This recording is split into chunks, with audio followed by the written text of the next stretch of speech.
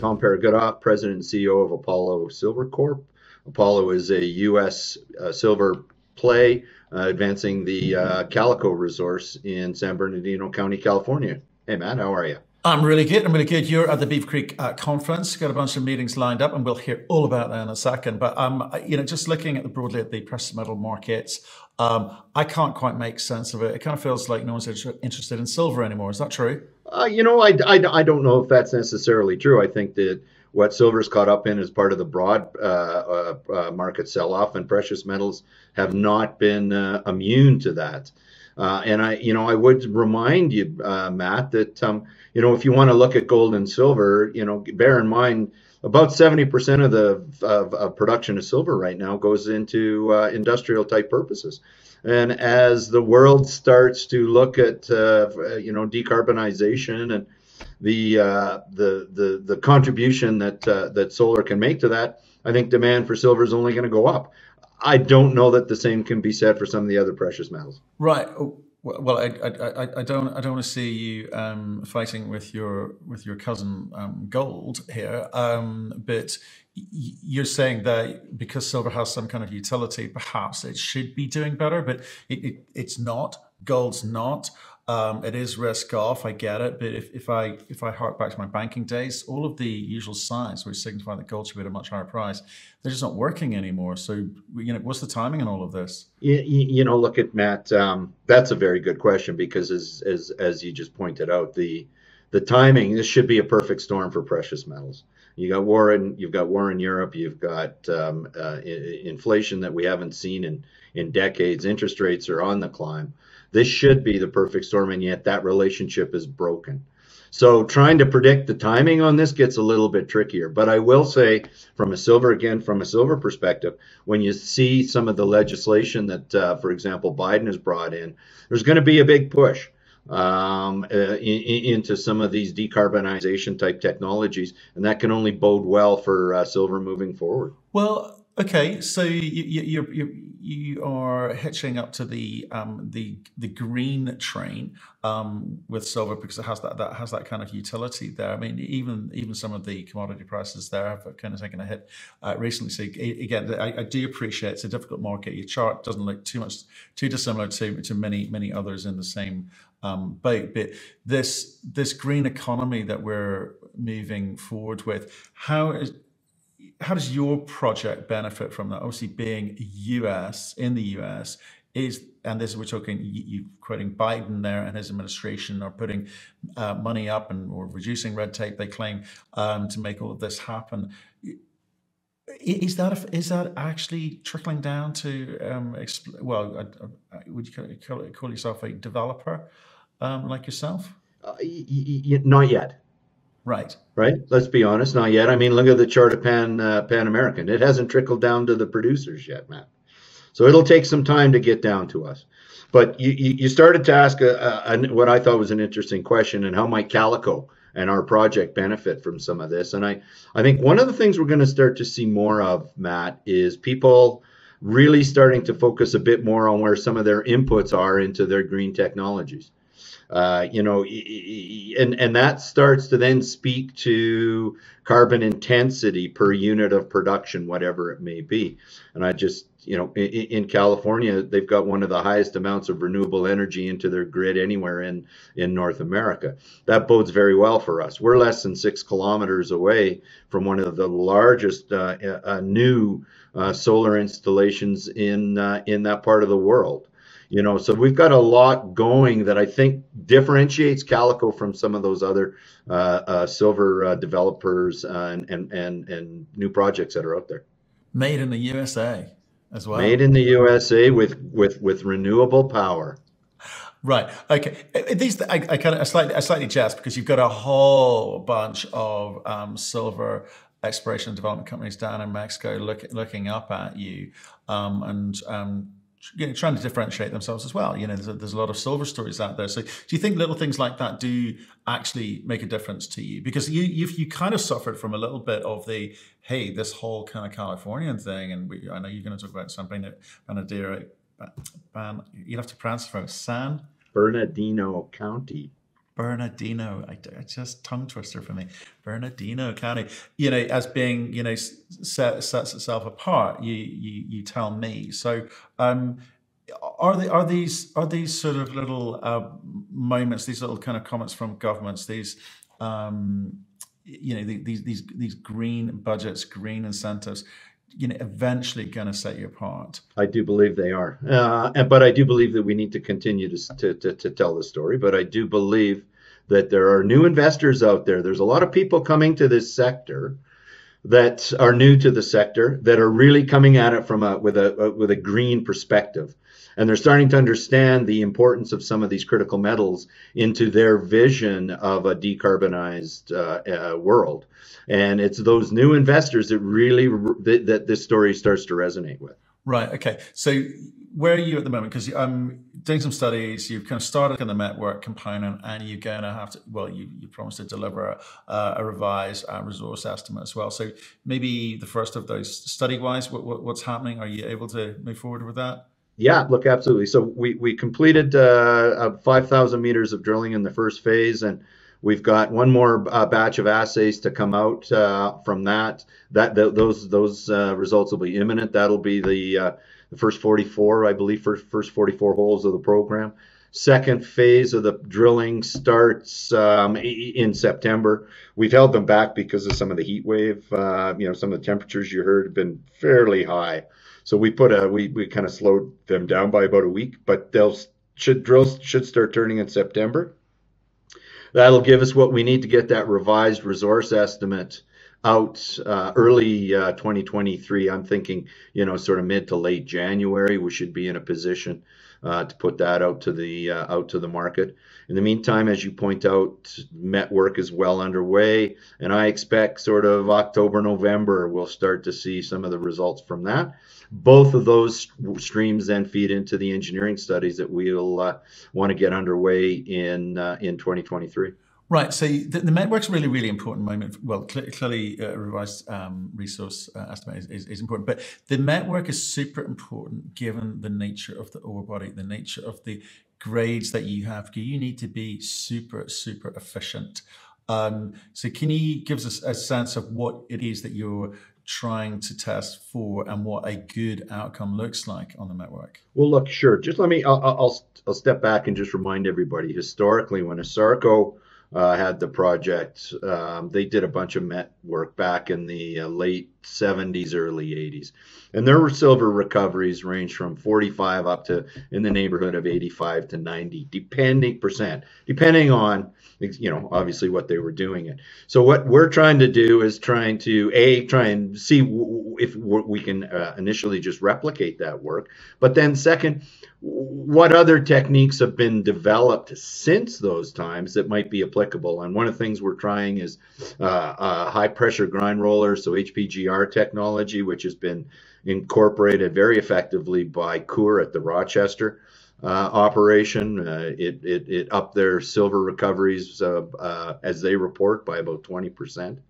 So we're, we're, testing that. We're also testing some additional, you know, te- techniques that um, we'll, we'll, see. It, you know, again, it'll be a balance between the increase, the improved silver versus how much is it costing us to get there. Right. Okay. And in a high in a high cost, high energy cost environment, you know, some of the some of these techniques will do better than others, I, I suspect. And uh, you'll you'll be looking very closely at uh, not just capex costs, but energy costs specifically for for you know making decisions. And it's you know you're right. It's energy costs and and it's how much energy per unit of production. Because as I said before, these things are going to start. These things are going to really start to matter. But I, I, want to come back to the efficiency component because look, I, I have to have this conversations with CEOs um, when we're talking about nickel when we're talking about even gold projects, um, copper projects. When when they're not these super super high grades, um, people wonder if these things could ever be economic. So,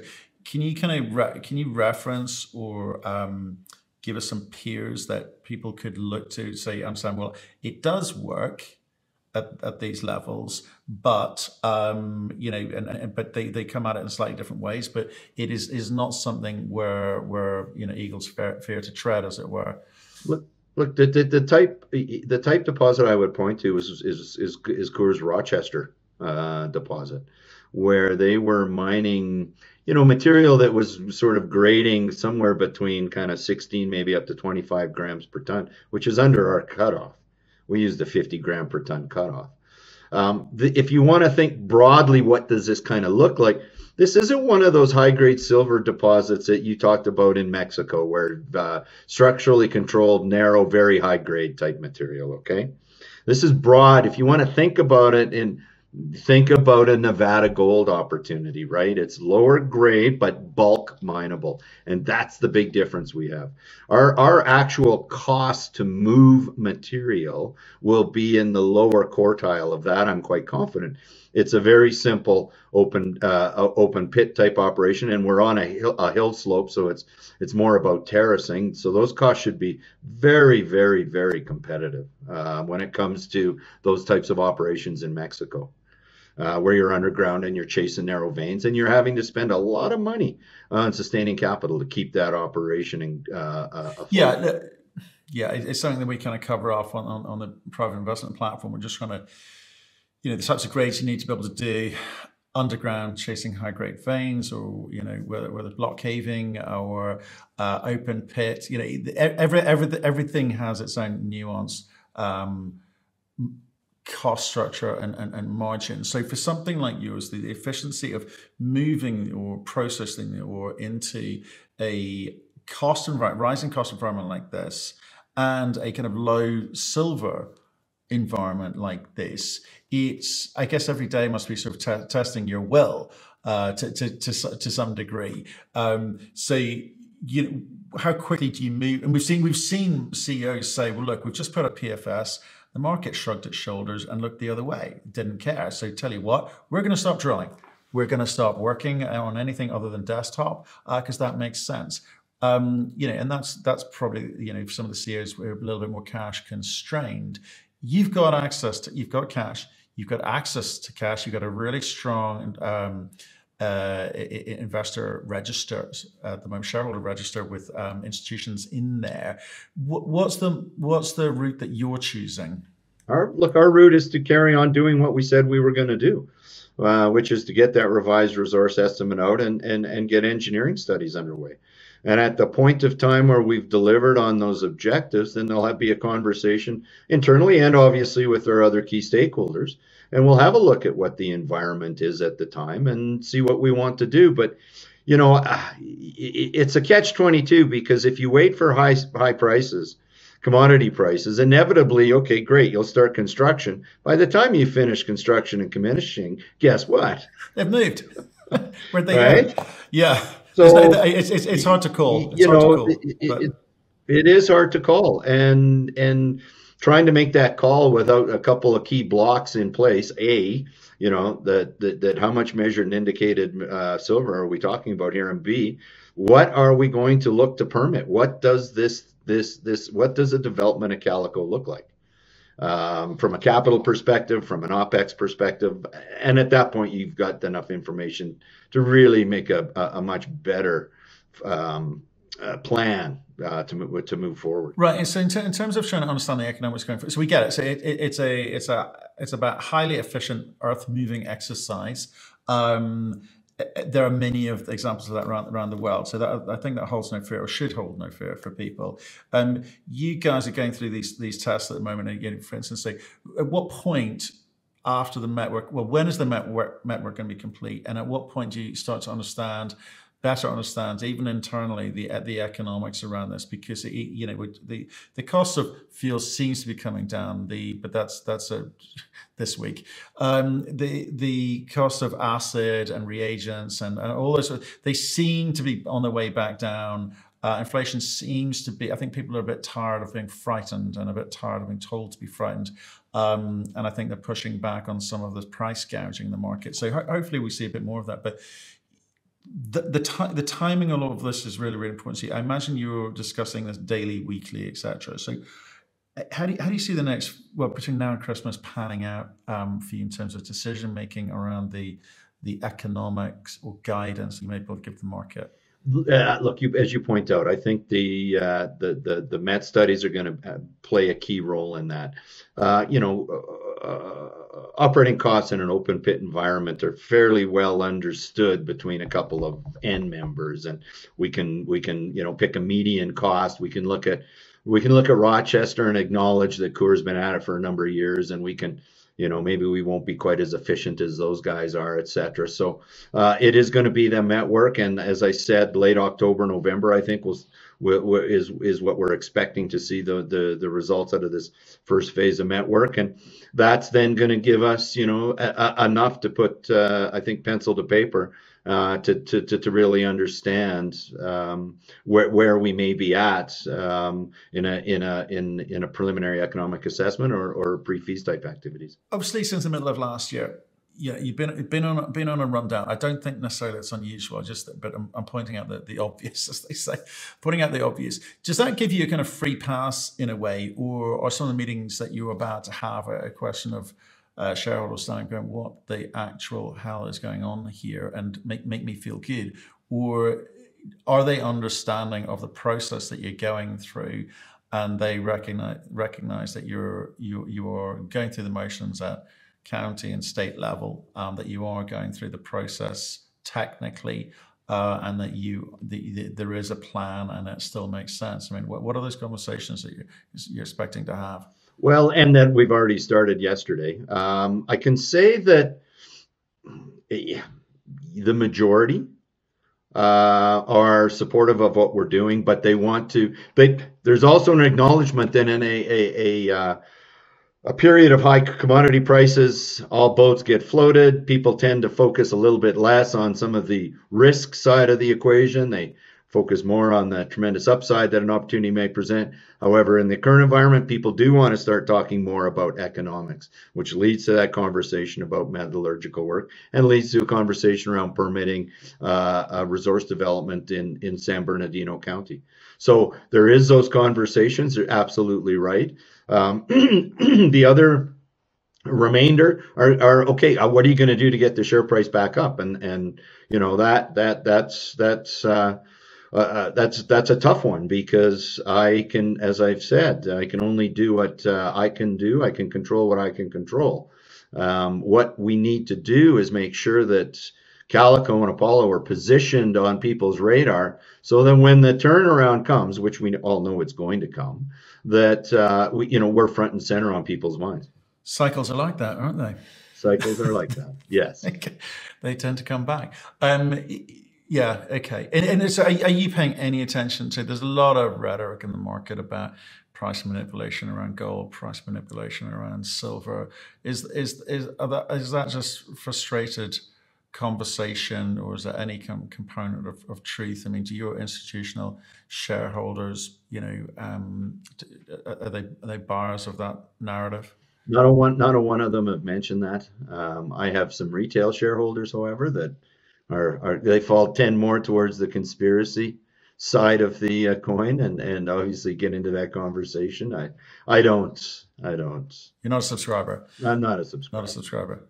Right so the important things are you're in control of what you can control. Stick stick to the fundamentals because that that's what gets you out the other side, and you believe that you've got a point of differentiation from your, your Mexican neighbors to to the south. Okay, well, it, sounds like a, a, tough a tough three days. I kind of know how you feel. Uh, doing that many meetings each, each day is exhausting. So, best of luck to you. Um, stay in touch. Let us know how you get on, uh, especially when this met work starts to kind of ro- ro- rotate through. I think that's pretty ex- pretty exciting times. Cheers, Tom. Excellent. Thanks, Matt.